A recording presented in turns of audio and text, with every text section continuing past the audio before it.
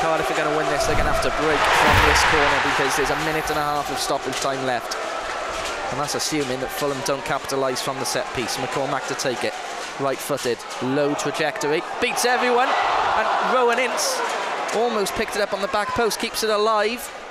Christensen. And it's a goal! Fulham have won it! Emerson Hyndman. A smashed home from inside the area. And it's heartbreak for Cardiff.